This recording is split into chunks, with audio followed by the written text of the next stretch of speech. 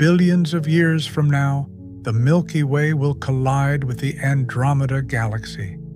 Two great spirals of stars merging in a cosmic dance, beautiful and violent.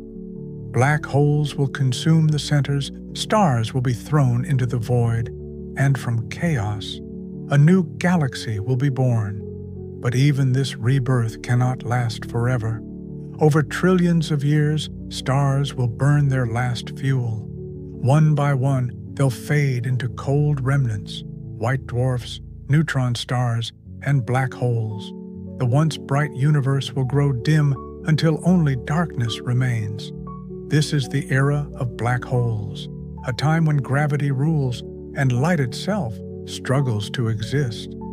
Galaxies vanish, planets are torn apart, black holes devour all that remains, even each other.